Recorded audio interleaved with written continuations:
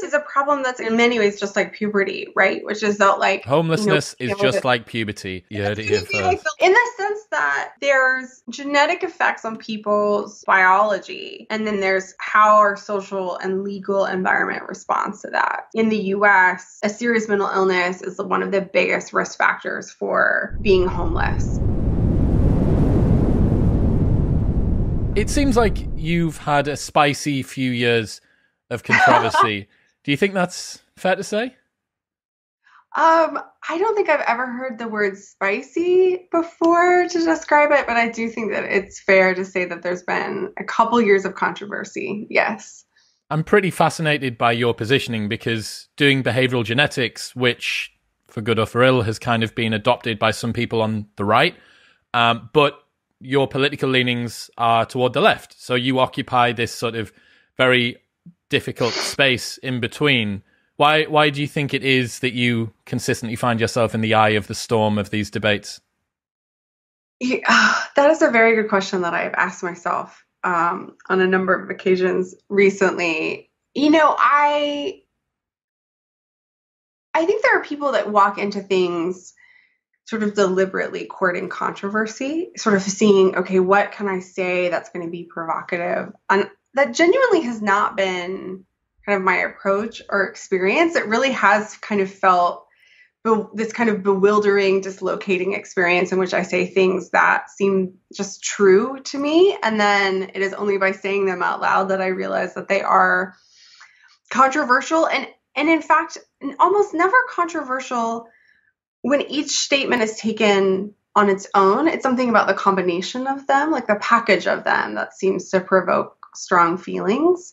Um, but you know like i'm a professor i'm an academic. I feel like you know, i have this great privilege of getting to think about things that i think are important and thinking out loud about them with my students and in my research papers and then more recently with kind of more public facing work.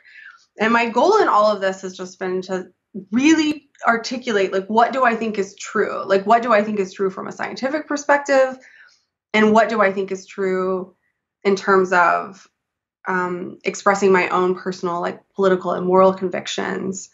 And it just turns out that if you repeatedly say true things um, in this space that seems to rile up um, pretty strong feelings I, I think on both sides of the political spectrum which is interesting. Why do you think people are so uncomfortable with behavioral genetics generally? Oh you know there's this really great paper by a legal scholar dov fox where he talks about genetics and to a lesser extent neuroscience as subversive science. And i love that phrase subversive science. And he's what he's arguing is that it can subvert really basic intuitions that we have about um, agency or equality I don't actually think it has to be subversive in quite those ways. I think sometimes the perceived subversiveness of behavioral genetics rests on misunderstandings of it. Like, if properly understood, many of the fears of the ways that genetics will subvert our values of equality or agency or identity, um, you know, turn out to not be true. But we live in a secular age in which people often don't believe in souls anymore. And so they've substituted genes as kind of their essence placeholders, is the way that some people talk about it. And so when you start talking about genetics, I think ultimately you're talking about people's selves. They're, you're talking you're talking about things about themselves that they they value or cherish or fear, um, or things they see in their children. So you know, to some extent, I don't think that you can talk about genetics in humans without there being some emotion attached to it, and that's probably a good thing that we want to preserve our sense of something um, something sacred about our humanness, even in a secular age. Yeah, sacred is the word that I had on the tip of my tongue there as well. You think about the successes that you have, the failures that you have, the things you value in yourself, the idiosyncrasies, your inclination toward playing this sport or not, toward having a family or not. All of these things, we like to consider ourselves as having some sort of agency. And yeah, the conception that you can be anything that you want to be, that living in a meritocracy where you get to choose your own route, that your failures and your successes are yours to bear. there's a lot of uh, waves clashing. It's like the Bermuda Triangle of awkward mm-hmm. tidal forces all crashing up against each other. Yeah, no, I think that's true. There is something that we, um, I think many modern people resist the idea of constraint, the idea that there is constraint, that you know that that we are not just these kind of like disembodied minds that have free and infinite potential to choose any future for ourselves, but in fact even many of our choices are constrained by like our embodied biology. I think people find that idea really um, alienating. And then I also think, you know, people, it's not just genetics. Um, you know, there's this quote in my book from the novelist and essayist E.B. White. Like most people know him from the children's book Charlotte's Web, but he also wrote um, for the New Yorker for many years and has this book of essays. And there's a quote from it, which is you can't speak of luck to a self-made man. And he's what he's getting out there is that when you've had some success, there is a lot of our psychology that kind of kicks in to justify it as like I earned this. Like look how hard I worked for this.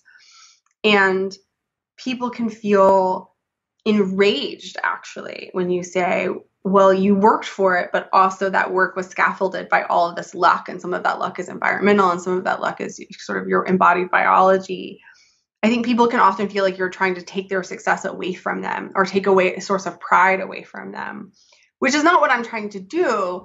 Um, I think I'm more trying to engender a sense of of gratitude that you've been given things that you know you you didn't earn, you didn't necessarily deserve, and and also a sense of compassion for people who haven't had the same luck um, in certain ways. What are you trying to do with this book then? That's such a good question. You know, I ask myself all the time, like, how did I get myself into this? Um, I, I think I'm trying to do a couple. I'm trying to do a couple different things. So I think I'm trying to, one, just explain what genetics is up to these days, right? Like a lot of times you hear this phrase, we're in the middle of a DNA revolution. And I think we are from the perspective of science's ability to measure people's DNA directly, cheaply, non invasively at scale. That would have seemed like science fiction two decades ago. Um, so I think that is going to affect people's lives. And there's so many myths and misunderstandings about what genetics can say and what it can't say about psychological differences between people. So part of what I'm trying to do this book is just to explain as a researcher and a professor in this field, like to the best of my ability, explain it in a way that's clear so that people can understand and clear up some of the myths. And then also, you know, I I have realized since I've been doing this work for such a long period of time that many people find it profoundly unintuitive to think that genetics matters and also to consider yourself a political liberal, as someone who's really invested in the idea of social equality as a as a political project. Um, and so, whereas those two things feel quite consonant in my mind, like they feel like they fit together quite nicely. Um, and I've never, you know, in an academic paper, like you know, it's 4,000 words. You maybe have like a thousand words for the discussion. You can maybe squeeze in like two sentences somewhere to explain an idea, whereas a book gives you space to expound on something that um, I think is important, that I think is counterintuitive for many people, um, that I think, uh, that I hope changes the conversation, like stretches the conversation so that there's kind of new space and it's not running in quite the same tracks that it's been running in um, for such a long time. What do you mean by social equality? Because that term is very fraught. Yes, yes um, it's always equality of what. So I actually mean it quite um, quite simply, which is what are the ways in which people's lives turn out differently in a society. So if we look at the end of people's lives, we can think there's differences in physical health. Um, how long do you live? How physically healthy are you? Your risk for disease. We can look at differences in psychological well-being um, serious mental illness, but also depression and anxiety and well being. And do you think your life is worth living? Um, and then uh, more economic outcomes. So we can think about income or wealth or labor market participation, levels of education. What's interesting about those three domains of inequality of outcome now compared to previous times in human history is that in the US and in the UK, they're really bound up with one another and, and, and really bound up in particular with education. So if we look back several hundred years ago at the lifespans of nobility versus commoners, you didn't actually see that people who were at the top of the pecking order lived that much longer than commoners. Like the plague came for them all, right? Like there were communicable diseases were the primary cause of death and you know that you didn't have these huge disparities in physical health. Whereas now what you see is that you know the most educated people they don't just make more money, they live longer, they live healthier lives and they enjoy their lives more. And I think when you start thinking about that cluster of inequality in which a very educated slice of the population is getting more of everything, those are the types of social inequalities that I'm really interested in. What's the sort of outcome that you would want from this? Because we can't flatten society for everything. You can't just have this homogenous grey sort of yeah. taupe color painted across everything. It can't be vanilla all the way down. Yeah. Uh, no, and I don't want it to be. I mean, I think. But there must be some constraints. at, at, what point do you? Yeah. Uh, do, where does the boundary lie for what you consider should be something which is within this sort of mandate? Yeah, yeah. So I think when we're thinking about um, like this question of like what should be equalized, right? Like oftentimes people immediately go to resources, right? Like, should we equalize income or should we equalize opportunities to go to college? And I think, you know, the scale of inequality in income, particularly in the US, like we could argue is inefficient and a problem. What I'm more interested in is equality of like one kind of basic things that we owe to fellow humans as kind of as a kind of a necessary part of reflecting their human dignity. So, a huge thing in the US is healthcare, right? That like millions of people don't have access to the healthcare. They can't go to the doctor when they're sick. Um, I think nothing explains America and American poverty quite so much as seeing, you know, fill your own dental cavity kits in Walmart, right? Like those are the sorts of things where it doesn't really matter to me, like whether or not you've not gone far in school because you didn't have the ability versus you just didn't care about like you just you know like you're just bored by it and you'd rather do something else. Like you'd rather be a mechanic than a chemist. Like go forth in life. There are things that you still are think are owed as part of being just being a human in our society.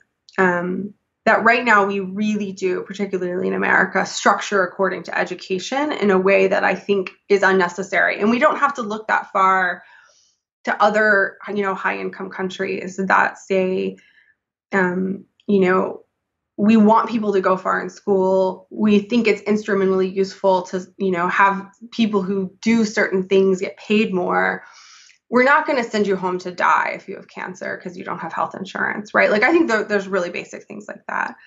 I also think there's you know this increasing um, like disrespect and sort of degradation of prestige for the types of labor that aren't the sort of things that like I do, right? Like I'm really good at rotating abstract information in my head and like working in a computer.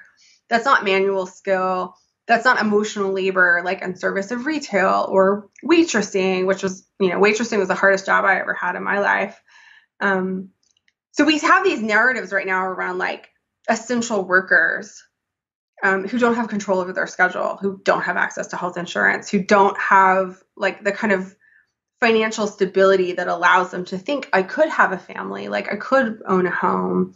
Um, and that's not because their labor isn't valuable to society, it's because we've devalued that labor. So those are like those kind of things about like healthcare freedom from financial anxiety, like having enough material security so that you feel like you can get married and start a family, like not being constantly evicted from your home. We can think about equalizing those, and it's not some Soviet dystopia, right? Like that's not like a gray, like that's like Finland, right? Like I'm describing things that do exist in the world. Um, but that are forms of inequality, like really persistent inequality that um, that we justify often, particularly in America, according to these guidelines of like meritocracy in education. Explain for me the link between that and genetics and DNA, because yeah. to me that just sounds yeah. like policies that the government needs to sort. Like we've got yes. we've got the NHS yeah. in the UK, so we fixed the healthcare problem. You put UBI in, therefore you fixed the uh, the income problem. The prestige thing is a cultural um, artifact of the way that people view particular different jobs. So you'd have to have some sort yeah. of retraining. So these, to me, I don't see the link between that uh, and the genetics. Yeah, side. yeah. No, I mean, like that's such a like that's such a good observation because I I feel like what you're picking up on is like part of why I get surprised when people think that I'm a very controversial thinker because like my bottom line on the uh, for many things is you know there should be a floor there should be a social safety net beyond which people can't fall um, which isn't hugely controversial in large segments of the population.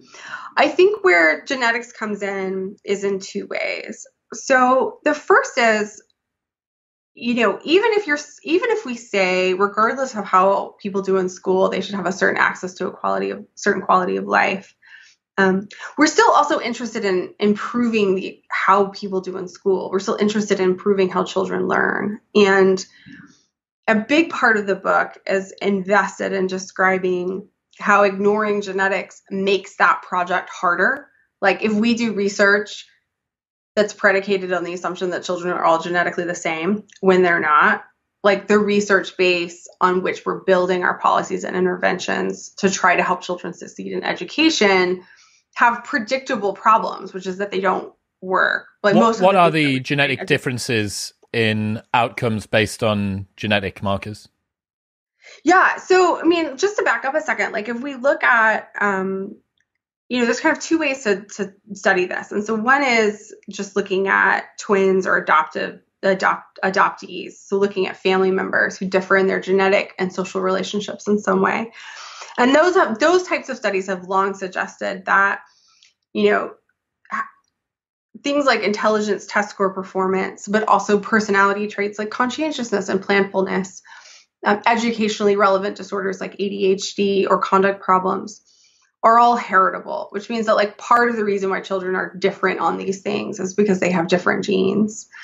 And then more recently, there have been studies that identify specific genetic variants, so specific DNA differences between people that are correlated with these different outcomes. And it's you know the that science has progressed so rapidly that it's really forced social scientists to pay attention to it because now these genetic markers are as strongly correlated with, say, the likelihood of going to university as Uh, variables like family income are. So, what's the what's the sort of correlation that you find between either parents and children, or genetic markers and outcomes in IQ or academics? Yeah, yeah. So when we're talking, so I guess like there's a number of different numbers you can throw around. I, I would say like the maybe a touchstone is to think about like what is the correlation between a polygenic score, which is, you know, kind of a summary of someone's DNA information. It's capturing environmental processes, but it's calculated just from your, their DNA and rates of college completion in the US. And that correlation is like between 0.25 and 0.3, um, which isn't huge, but is about the same size as you get between like family SES and going to college. You can make that number smaller by being like, well, what is the correlation when you're looking at within siblings? You can make that correlation bigger when you're like, well, that's not capturing all of the genetics. What if you're looking at everything, not just what's measured in a polygenic score? um, you know the that's like an active area of scientific debate like i think what's important is whatever the number is it's not zero right there are meaningful genetically associated differences between children in the outcomes that we care about really at every every stage of the educational process. So like Robert Plomin in the UK, who I know you've had on, has like with this with regards to um, like exam scores at age 16. I've looked at it in relation to like which math class do you get tracked into in the ninth grade. Um, we can predict whether or not people stay in math even knowing their grades in their previous year from their DNA, right? So like among students who are all in the same school and they all got B's, like the DNA predicts which ones stay in math versus drop out of math. So as soon as we're talking about those types of correlations in the 0.2 to 0.3 range, they're not large, but none of our correlations for things that we measure in kids, like school going, are large. Um, and we can start to like use them in our studies. Um, so that that was I feel like we we followed a little tangent. I don't remember the original question, but basically we now can we now can measure DNA and assess its association with outcomes we really care about, still with a great deal of uncertainty, but with enough certainty that we can see that it is making a difference, right? And at the same time, most of the kind of work in child development is not paying attention to that, right? So it's continuing to study parenting or school environments or neighborhood environments in relation to child outcomes and there's this huge flaw at the heart of so much of that research, which is that children get more than their environments from their parents. And that flaw is really holding us back from designing better interventions, designing better policies to help children succeed in school. Um, so, to put that together, my argument is kind of two pronged, which is that I think we need genetics in order to do the sort of science to help children succeed.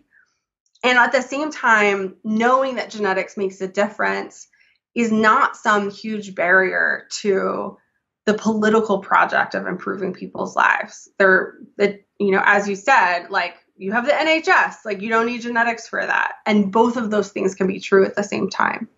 I had a conversation after the Robert Plomin episode went up, and I I got to uh, how would you say? I got to circle the outside of the whirlwind briefly uh, while that one went up. uh, the one that you sit in the middle of sometimes. And uh, a buddy replied, who's very familiar with the behavioral genetics research, and he said, thousands and thousands of parenting books out there, zero that include behavioral genetics research. One book on behavioral genetics beats five books on normal developmental parenting. And that sort of really hit it home for me. I was like, that it makes a lot of sense. What I'm interested to try and find out is what what are you proposing? Okay, we can make some sort of predictions based on genetic markers yeah. about a child's uh, predisposition in school. They're going to be good at maths or shit at English, or maybe they're just going to be higher IQ, lower IQ. Maybe they're autistic, maybe whatever, whatever. Like, what do you propose that people do yeah. from there? Schools, policymakers? Yeah.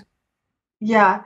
So I propose, I would say three general things. I think the first is my fellow researchers who are writing the stuff that goes into the parenting books. High income parents do this, and that makes their kids better. They should be routinely integrating something about genetics into their research, so long as they're trying to figure out what aspects of parenting or school environments or neighborhood environments like actually make a difference for children's lives. It's not that nothing makes a difference, it's that kind of reverse engineering what are the actual ingredients of change in effective schools and effective parents in you know in neighborhoods that foster achievement that are opportunity zones. That's a really hard scientific problem and we can be making better progress at solving that if in the same way that researchers like routinely control for socioeconomic status when they're trying to say reading to kids matters like let's make genetics part of like the the everyday work a work a day arsenal of social scientists. I think for policymakers um, and interventionists that are doing policy evaluation or randomized control trials of educational interventions anyone that's like doing an experiment tinkering with something and seeing if it works.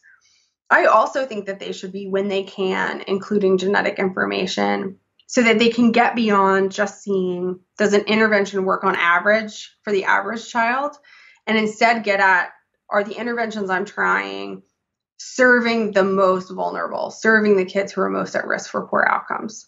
So moving beyond this to focus on the average kid that doesn't exist to heterogeneity of intervention effects, heterogeneity of policy evaluation. And then I think the third thing is like, you know, again, I, I won't speak to the UK context because I don't live there. I don't live in that political climate. Like I live in Texas.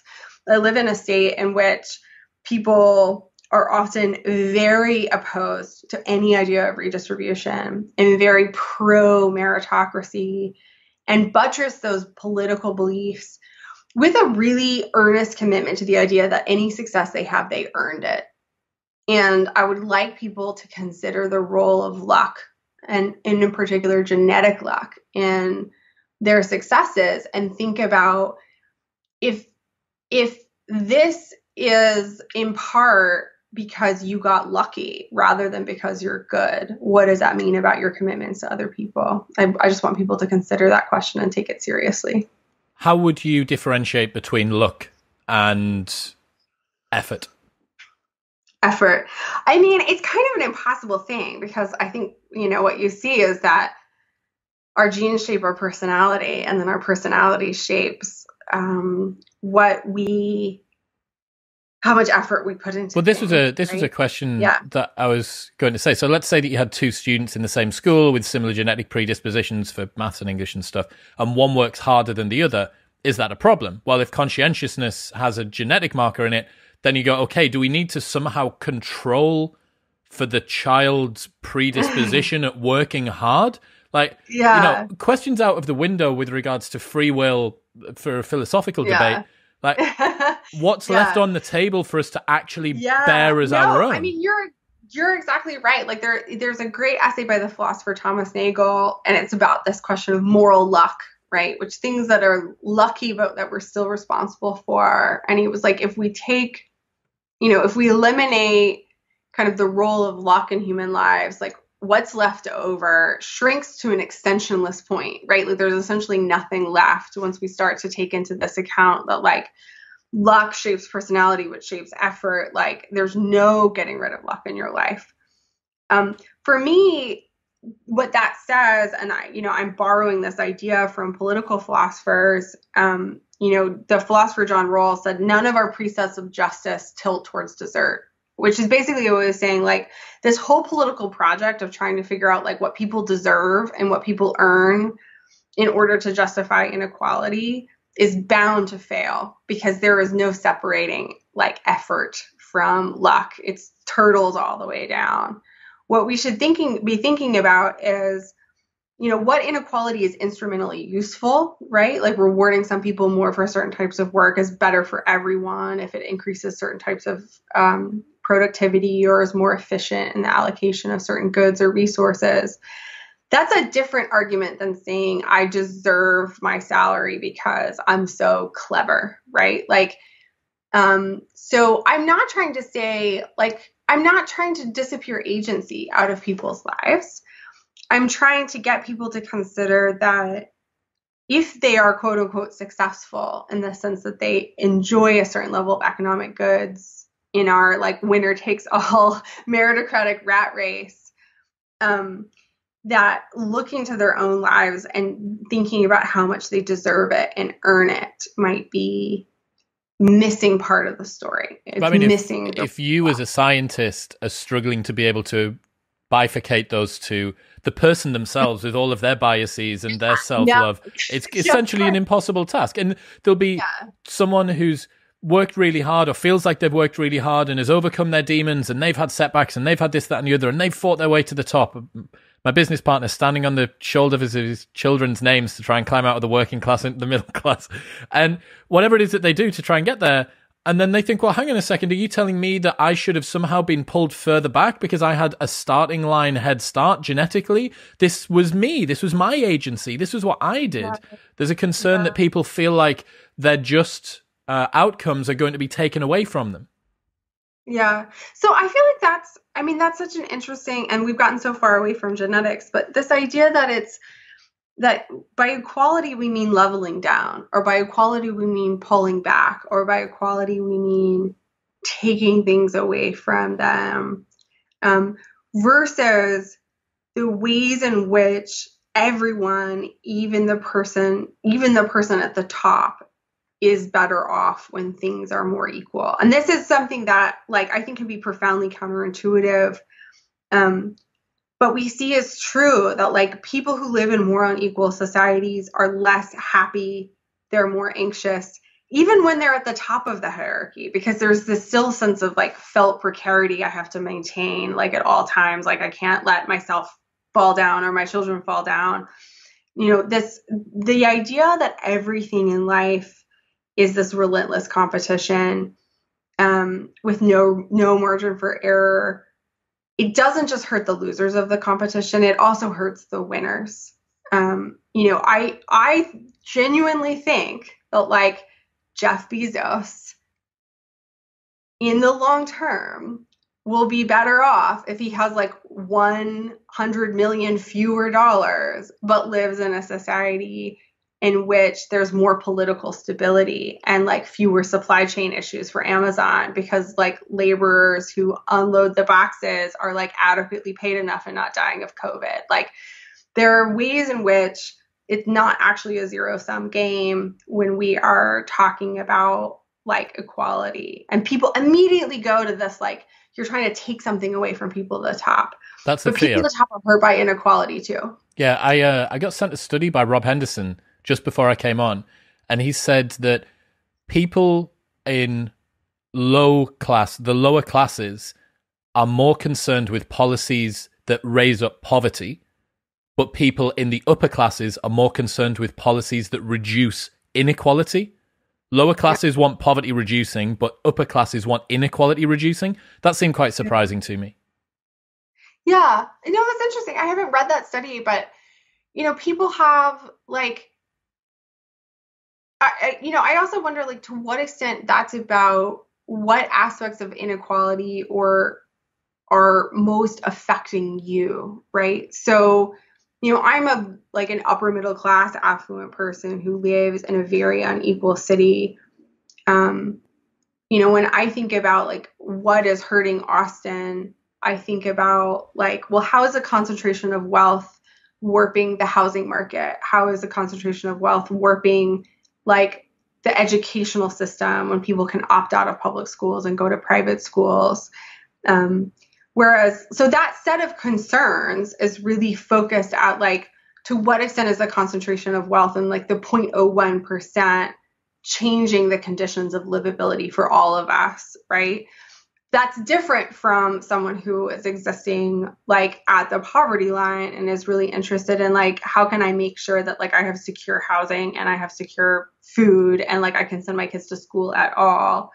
Um, ultimately though i think our our concerns about both alleviating poverty and eliminating inequality there's points of political intersection between those like you know particularly around like housing and affordable housing um, but I do think that's really interesting. Like, you know, whether you're whether you're more interested in like compressing the scale of inequality writ large versus specifically raising the floor. Like people have different priorities around that for sure. Getting back to genetics, then, what are yeah. some of the more surprising correlations that you found? I saw a I saw a bit about when identical twin sisters have marriages with different levels of conflict their children have equal risk for delinquency? What are yeah. some of the other ones like yeah. that? Well, I mean, that project is part of like a, most of my graduate work, which was attempting to address this problem that we've talked about before. And the problem being that most studies just correlate aspects of parenting and child outcomes and then are like, oh, well, this aspect of parenting is like the secret sauce, right? So, there, you know, there's 8 million studies that are parents who fight more have more behavior problems. Like this is why you should learn to get along with your spouse more because it's going to help your kids ADHD. And like very few considering that like argumentative parents might have argumentative children, like for reasons other than just environmental modeling. Um, so my graduate work was a lot on like kind of divorce, marital conflict, age at childbearing, like, you know, is teenage pregnancy like actually bad for kids? Um, what did that you know, come up with? What did that suggest? Um, it suggests that like teenage moms definitely face a lot more like financial problems than mothers who delay childbearing. Like there's there's um you know there's a penalty to early motherhood in terms of education in the labor market. Um, but the effect of adolescent parenthood on kids, particularly their like um, conduct problems and ADHD, is a lot smaller than people might anticipate. And you know, and that's because um, people do not have children as teenagers at random, right? So like more impulsive sensation seeking moms are more likely to have kids young and they're more likely to have impulsive sensation seeking kids. Um, so there's just a lot like going back to your, you know, there's 8 million parenting books, which are all like, here are all the things correlated with being like a high and high income white lady, basically is what they're, they're all saying. Um, and very few of those things are shown to actually have like a causal impact on child development. Like it's just like let's see what's in fashion amongst people in a certain social class and then like give us give give parents a lot of advice based on that, not really on like tons of solid science. I couldn't believe that girls who hit puberty earlier are less likely to do maths. Oh, that that was surprising to you. Well, you weren't a girl, I guess. Yeah, I, mean... didn't. I, I didn't think that if you're a girl who hits puberty sooner, the boys that are in the maths class are going to hit on you because you're the one that's developing. And it makes complete yeah. it makes complete sense. I don't dis- yeah. disbelieve it for a moment, but I was like, oh yeah. But that's because when girls go from being a girl to being a woman, something sort of uh, attractive happens to the boys that are looking at them. When boys go from being boys to men, nothing happens. Like essentially nothing changes. Their voice just gets a bit yeah. weird and they get spotty so it's so interesting. You know, I just taught my adolescent development lecture because I teach intro psych, which is great to teach adolescent development because they're all freshmen, right? So they're 18, they just went through this. Some of them are still going through this. And I teach a really big online class. And so I put them into chat rooms all the time where they can talk to each other. And I was like, so their chat prompt was, do you wish you could have gone through earlier, through puberty earlier or later? And all of the girls are like, I wish that it happened later. Like I was the first one in my class. It was embarrassing. It was discouraging. Men are skeevy. Boys start to look at you totally differently. Like, you know, my parents treated me differently, which is true. Like the research literature show, like girls go through puberty a little earlier than boys, anyways. And so the earliest maturing girls look like women, and the boys in their class look like boys. Um, but that doesn't stop the boys from being like creepy to them in a lot of ways. And so, whereas the boys were like, I couldn't wait, like my voice cracked, and I was like, when is the rest of this? I still can't grow a beard. I'm still waiting for this. And I think it's interesting. I mean, I think it's actually a great example of like, there's what genes do to your body, and then there's how society responds to your body, right? Like, going through puberty is very heritable you know like that's kind of like a developmental timing thing. Um, but then you have breasts and hips and your, your your social environment and your teachers and your parents are responding to you differently. And so it's um, we sometimes use the phrase environmentally mediated genetic effects. Like it's the effect of your genes on your body that then becomes like the grist for the social mill and like the social response that you're getting from people and so when you see that like girls who go through puberty early are less likely to take advanced math classes, is that a genetic effect? Well, like going through puberty earlier is genetic.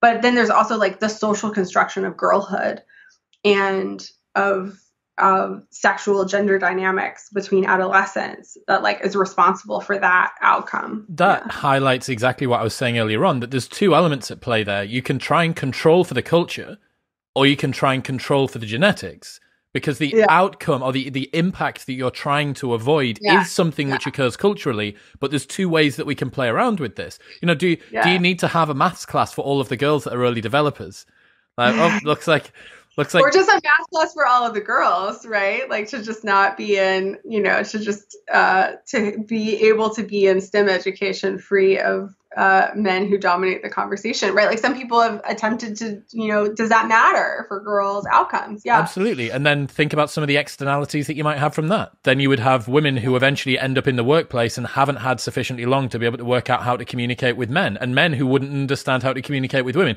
And from what I know, the men in STEM could do with a bit of a assistance with learning how to talk to women in any case. So Right. What about homelessness? You were talking about Austin, and obviously, there's yeah. I've seen quite a lot of stories about the homelessness problem in Austin, and you also researched that and its links to genetics. Well, yeah. I mean, so homelessness is a is a problem that's exactly. I mean, in many ways, just like puberty, right? Which is that like homelessness you know, is just like puberty. Pay card, and you heard it. You heard it here first. Like the little clip that we have here, in the sense that there's genetic effects on people's biology and then there's how our social and legal environment responds to that. So we know that there are genetic influences on mental illnesses like schizophrenia. And we also know that in the US, a serious mental illness is one of the biggest risk factors for um, being homeless. And there's a long history behind that, right? Like we had a massive deinvestment in psychiatric care in the United States. We had a big deinstitutionalization movement of like shutting down the inpatient wards and like getting people out of hospital. Um, we don't have enough psychiatric beds or public housing in the United States. And so, what happens to someone who's seriously mentally ill and whose family doesn't have enough resources to pay for psychiatric health care for them, they're very likely to end up on the streets. Um, Austin has been in this terrible, like, we're going to criminalize camping. We're not going to, we're going to decriminalize camping. We're going to recriminalize camping. And it's like just futzing around at the symptoms of the problem, right? Like, it's not the problem isn't whether or not an unhoused person can use a tent, it's that they don't have a house. And we haven't addressed as a society the structural issues that go into them being unemployed, unhoused. So again, we have like, you know, your genes affect your risk of experiencing psychotic symptoms. It's our social choice that people with psychotic symptoms are on the street instead of in the hospital. Like the biggest psychiatric care provider in the United States is the jail system. Like more schizophrenics are in prison versus like in hospital. Um, so that is like we can think about genes to biology and then what's happening to a person in their social environment based on that biology. Um, homelessness is a is a great example of that. There's another element where you're talking about separating characteristics and the difference between how valued some characteristics are and how valuable someone is yeah. in society. Can you dig into that? Yeah, I mean, I think when we're when we're talking about um, intelligence, when we're talking about homelessness, when we're talking about conscientiousness, um, when we're talking about uh, economists often use the word skilled, skilled labor there can be this idea that if traits are associated with genes, that that's evidence that some people are sort of inherently more valuable than other people, right? That they're genetically smarter, they're genetically more moral or whatever. And I don't think that's true. I think what we see is that there's a wide variety of genetic differences between us, and also a wide variety of skills and talents and traits. And then we now live in a in a system that systematically values some skills and traits over others, right? Like going back to you talking about you and your friend growing up working class, you know, why do we think of being a university professor as being a quote unquote better job than being a mechanic, right? Like we can't really function very well as a society without mechanics. Like we need mechanical knowledge, but it is a it is a type of training and a type of skill that's devalued relative to, you know, maybe what a university professor is doing, what kind of skills they have.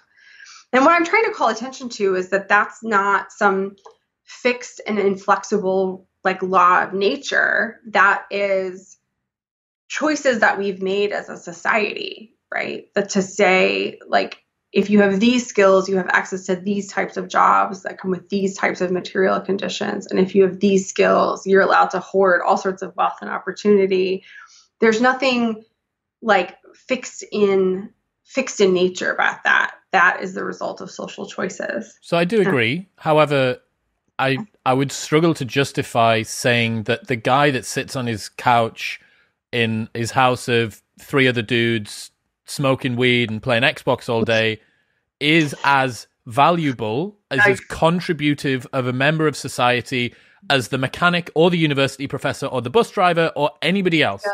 Right? Like I understand that you can say this is genes and environment for most of the way down. That this person is the the nail on the end of the finger of the arm of the position that they were given, of the life that, that they've been leading that's currently being grown out of the earth. But I I can't What about the freeloader? There has is to that, the, the, the rubber has the rubber has to meet the road at some point. It's like, look, we yeah. have to make people culpable for some of the things that they do. Yeah. So we I mean, we definitely already do that, right? Like I would say like, you know, in terms of people being people given not being given many chances and people being at high risk for experiencing a lot of poverty and immiseration um, if they're not quote unquote contributing. Like I feel like that's in many ways like a defining feature of the American political landscape.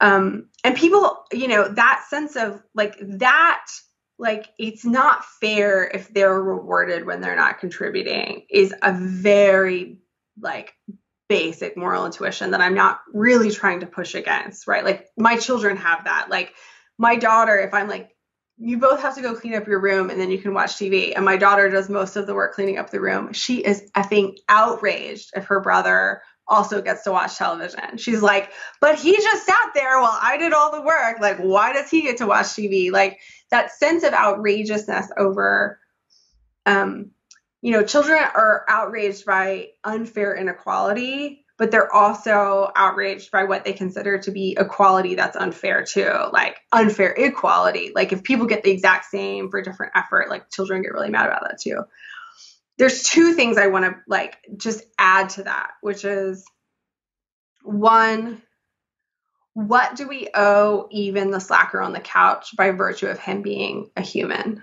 right? And like he probably isn't owed um, a yacht and a million dollar 401k, but like, are we going to send him home from the hospital? Are we going to tell him to pull his own teeth, right? Like, though, like, what do we owe people? even who are slackers, even who are bad, like even who aren't quote unquote contributing. I don't think we pay enough attention to that, at least in, in where I live. And the second is um, my colleagues, Pamela Herd and Don Moynihan, have written a great book on administrative burden, which is like what are the costs of administering social programs when you're trying to separate the deserving applicants from the undeserving applicants. And basically, their research suggests that even though freeloaders bother us, we can end up hurting ourselves and the people who actually need help more by putting in this administrative machinery that like is trying to suss out like is this person a mechanic or is this person you know the video gamer on his couch right so not universalizing things even though it does activate our like very six year old impulses of like, but someone might not get something even when they're slacker and they're not doing anything. Like, not universalizing things can make programs more expensive and end up so that the people who do need them are less likely to get them. And so I, at the end of the day, I'm just kind of a consequentialist about this, in which I feel like um, you know, I'd rather a guilty man go free than an innocent man be in jail. And like, I would rather have someone who is like undeserving of a social benefit get it than have a whole machinery in place that ends up hurting people who like have legitimate claims on a service. Um, so those really are the good considerations of mind. Yeah, I think that's a really good identification of why people who lean left tend to be compassionate I think that's like the best summarization that I've ever seen for that. Um, because for me, I think my indignation would overtake my empathy. I, I think that I would. I don't know if I would be prepared the guilty man going free versus the innocent man going to jail. Like that's you know that's a, that's a much tighter decision for me to make. It's more difficult for me to work out where I lie on that. Um, what I thought was really interesting was you talking about unfair equality as well as unfair inequality. Um, yeah. And that's what we're talking about with that indignation, the hypocrisy, the concerns yeah, around yeah. undeserved. It it definitely feels to me. I would be really interested to see where your viewpoints are. Let's say that we get the sort of progress that we're hoping for economically in terms of welfare and poverty levels and so on and so forth. Um, over the next 20 years, 30 years. I'd be really, really interested to see what your um, stance would be on this. Let's say that we raise the floor of welfare mm-hmm. so that mm-hmm. everybody has basic human dignity, right? Now, mm-hmm. one of mm-hmm. the problems is that we're not rational creatures. A lot of the time, we're more concerned relatively about our position yeah. within the hierarchy yeah. than absolutely. Yeah. Mm-hmm. And I'm sure that you've considered this because if you offer someone, you can make an extra $50,000 yourself or you can make an extra $100,000, but all of your competitors make an extra $120,000. People will take the objective lower number so that relatively they gain more status. This is how we are wired. So for me, my concern is that it's status games all the way down now. yeah. So I so I feel like this is where this is a really interesting question. Like I I'm not really interested in changing aspects of our psychology that are probably like pretty deeply evolved, right? Like, are we going to get rid not of like rid status of hierarchies and competition? Like, no, we're not going to. Um, it's more about like what structures can we build that satisfy and respond to those psychological needs that also take seriously these other moral concerns, right? And um, like so the economist Robert Frank has a really great book called Success and Luck, which is not about genetics, it's about like environmental luck, like random opportunities that come to you. And this is a you know, a topic that he takes really seriously around like someone's always going to want a bigger boat.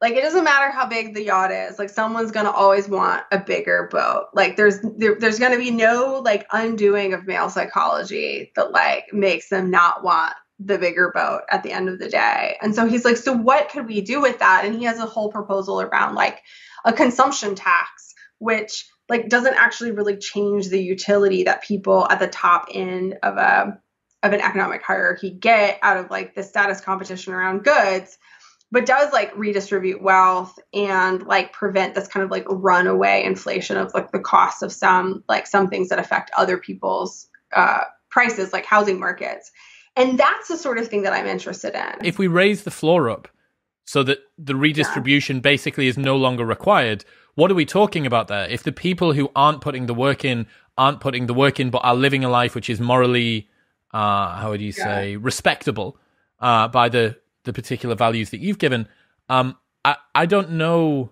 I don't know what we're achieving there other than reducing the imperative or the incentive uh, for those people to actually do something. This is one of the concerns that you have, like the, the free rider, freeloader problem, right? The tragedy of the commons is one of the things that comes out of it.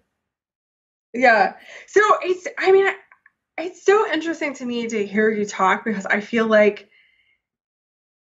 I mean, you're bringing up like, is inequality, like, I, I think this is a really fundamental debate. Like, to what extent, like, is inequality itself a bad thing versus like we're just concerned about the minimum? But also, like, to what extent is work a good thing? Like, a lot of your comments are predicated on this idea that like work, work qua work, productivity is better than leisure, which is just like I'm not necessarily sure I'm even like taking that like as an assumption. Like, I, you know the the dream of technology was it was going to make work easier so that we all had more time for leisure. The Wii, and, the like. I want to you know that we could all be Iceland and be like, okay, we now have a four day work week. Like that's you know the vision that I have of like what world would I want my children to enjoy? You know, in this utopia that you've described where like poverty no longer exists and like people have like you know, a basic income and access to healthcare, um, is not one in which there are still pressures to work 70 hours a week as part of um, being part of a prestigious occupation. Like, uh, at what point do we start to value leisure in addition to work?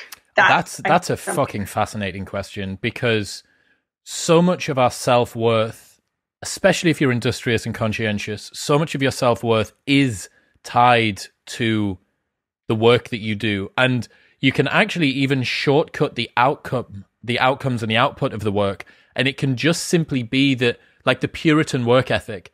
Like i am i, I take pleasure from the sheer suffering that is a part of the work that i do. You can imagine these priests in the middle ages they're hoeing hoeing the garden outside of the church yeah. and the sun's beating down on their backs but they're doing it in service to god and this is us we're doing it in service to moloch right like that's yeah. that's what we're here for here's here's one for well, you i mean i like I find this so fast, right? Like, why do we have? I mean, the theory about the quote unquote Protestant work ethic is like, well, the Calvinists were like, well, you were predestined before the dawn of time to be either in the elect or not in the elect, and you weren't going to know. But like, one way to show yourself and other people that you were in the elect, like that you weren't going to go to hell, is that like your sign of God's blessings, which is the accrual of wealth, right?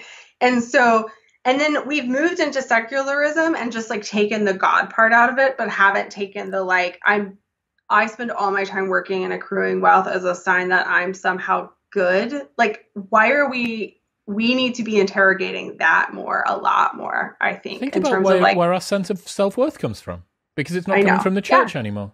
Um, here's one for you. If we could, should we go into the genes and flatten them so that everyone has the same genetic opportunity. no, because we're trying to achieve this socially, that. so why not try and achieve it genetically? So I I there's a great line from Dobzhansky, who was a evolutionary biologist in the early, I mean, in the mid 20th century, and he wrote in Science in 1962 that genetic ver- diversity is mankind's most precious resource. Um, and I believe that. Like, I don't what I want is a society that is more like a meadow than a lawn of grass. Like in where we have many different people with many different talents, which a lot of diversity that are working in cooperation and it's beautiful and not homogenous right that that is a quality of thriving not a quality of gen- genomes right like whereas a lawn is a monoculture. Like i'm not like monocultures in agriculture never work out. Like they never they're never good. Bad things happen when we have monocultures and i don't think that there's you know the problem with with society in my view right now is that we have so narrowly defined skill that we have kind of a monoculture of skill and talent um, amongst who was considered like the top of the like elite or of a status hierarchy of an income hierarchy whereas you know one phrase that people use for it is like a pluralistic opportunity structure where there's many different genetically influenced talents that can all like different routes to success those are the sorts of um, social structures that i think are good I'll never forget this meme. It's so useful. I've never been able to find it again. There's this guy, this really big guy, and he's sort of maybe about my age, like early 30s or whatever, like pretty good looking dude, and he's got a shirt and tie on. And he's stood at the front of a Bed Bath and Beyond, and he's just sort of welcoming this woman, welcoming this woman into a department store, and there's a thought bubble going out of his head, and it says, "500 years ago, I would have been a strong warrior." yeah, yeah. I mean, and I think you know, I like I'm I was like I'm a woman and I, you know, I'm raising a nine year old, but I'm not an expert on men and masculinity. But I do think, just from my observations of my undergraduates, when we look at rates of college completion, when we look at like political disaff- disaffection amongst young men, this sense of I do have something to contribute. I don't want to be the person that's like sitting on my couch playing video games. Um, but I do, there isn't an opportunity structure for me to feel like the skills and talents that I do have are valuable, are prestigious, are going to like create a life for myself in which I can have a family. And that I think is a huge problem. From a gendered perspective, I'm going to guess that boys on average tend to sit still with more difficulty in classes, uh, yeah. higher rates of ADHD, so yeah. on and so forth, more antisocial behavior. Yeah, I mean they, that's all true. And then I think particularly, you know, when we're talking about like you know, male adolescence and male puberty, like this is a period of the lifespan in which adolescents generally, but male adolescents in particular, are really developmentally primed for risk, for feeling like things have stakes. And we put them in high schools that are like the most boring things ever. And then they all say, I've never been more bored. I have no, you know, we have closed off all opportunities you know, unless we're talking about military service when they turn 18, for people to experience a like pro social, positively, socially sanctioned forms of risk and adventure taking. And then we wonder why like male adolescents drop out of school and go to college at lower rates than female adolescents, like across the board. Like we don't take their developmental needs seriously. Like we we just actually are kind of terrible to teenagers generally um, in terms of taking like we treat them as like deficient adults rather than like this is a unique period of the lifespan that has its own developmental needs. Like how would we how would we design a school if we actually didn't hate teenagers? Like, that's a I really that's good point because we, we, we mollycoddle children and they're still cute and there's there's still this level of protectionism around them. And yeah, you you bestow on teenagers the responsibility and the standards that you expect from an adult with all of the resentment of a child that has agency not behaving the way that they should do. Yeah, yeah, no, it's true. Like in my class, I give my students like a list of like, here are rights and responsibilities of adulthood. You know, like you can get married, you can be tried as an adult for a crime, you can rent a car, you can drink alcohol, you can join the military. And I'm like, I want you to, if you were dictator for the day, at what age should we be able to do these things? Um, and then at what age do we actually do them, right? And it's like in Texas, you can be tried as an adult for a felony 10 years before you can rent a car. Like that's insane from a developmental science perspective. And what we do is we hold them responsible for making adult like decisions and when we're trying to punish them but we withhold the rights that come from being an adult, like such as voting or drinking, um, as late as possible. And then we wonder why adolescents are resentful of adults. Like, well, because you treat them like petulant children all the time and don't design anything for their sake. So um, I could go on and on about this, but like we we don't take adolescence seriously in our cultures, and I think that's a real shame. Fredrik deBoer, who wrote The Cult of Smart, he agrees yeah. that genes and luck play big roles in life outcomes. And as a result, he's a strong supporter of communism. Are you tempted by communism? Um, I think that Freddie would describe himself as a socialist, not a communist. Um, and I think it's interesting because I think his, you know, I think his socialist. Um, I don't know Freddie very well. Just um, you know, mostly no, through well writing, enough to call him Freddie um well we've been on like a symposium together before and he um he i you know i'm pretty sure his political commitments like predate any interest in genetics um which i think is an important point which is that you know observing that there are genetic differences between people it doesn't commit you to any moral or political project. I think it's more um you know, given a moral political project, what constraints about the real world do I need to take into account when I'm thinking about, you know, how to bring this about? And so, I mean, that's been very much my case too. I was an egalitarian before I was a behavior geneticist. Have you read the book Why Whites Run Slower? No. Okay, so this French guy, he looked at athletic performance largely being determined by genetics, and there was this ACTN3, the sprint gene, and there's an RR form for speed and an RX form for endurance. Yeah. Have you seen this? So I have read about this. Um, Do you know if there's any truth in it?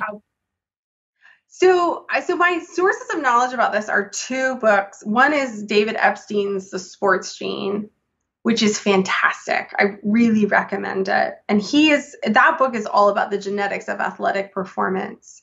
Um, in very like in various capacities and various specific genes. And I think what's interesting about his book is um, you know, I know David only through Twitter. Like he wrote that book years before I wrote mine. It's on a completely different domain of human skill, which is athletics versus education. Um, but thematically, it actually ends up in a very similar place, which is like, yes, genes matter. Figuring out which genes matter is really hard. And it's never just genes, right? Like this is such a complicated, complicated developmental story. Um, and then the other source of information about genetics and sports that I have read is Adam Rutherford's How to Argue with a Racist, which um, spends a lot of time on these kind of stories about like why some racial groups are quote unquote better at some sports than others. And it is up basically in the same place that Epstein's does, which is like you know, if you pick like one gene in one comparison, it can look so like such a neat, tidy story. And then as soon as you think about the larger picture of athletic performance, like those just those stories kind of like fall apart entirely. Um, so I don't, you know, like this is not, I don't, I don't know anything about the genetics of sports performance other than reading those two books. So like, but you know, my sense of it is when it comes to really complex domains of skill, these neat stories about like populations in one gene almost never hold up to like more sustained scrutiny. Adam Rutherford called me out after the Robert Plomin episode. He tweeted something, really? he tweeted something mean about me, so I'm not friends with him. Yeah, exactly. Uh, anyway, the genetic lottery. You know, if you were no longer friends with anyone who said something mean to you on Twitter, like in my experience, you would be like left with no people. Like you're in the eye of the storm. There would be no one. There would literally be no one left. Look, the genetic lottery. Why DNA matters for social equality will be linked in the show notes below. And if people want to try and bolster your dwindling Twitter world as people continue to clash up against you, where should they go? So I'm on Twitter at kph3k, and you can find me. I have a website which is kpharden.com. Thank you. All right. Thank you so much. Thank you very much for tuning in. If you enjoyed that, then press here for a selection of the best clips from the podcast over the last few months. And don't forget to subscribe. It makes me very happy indeed. Peace.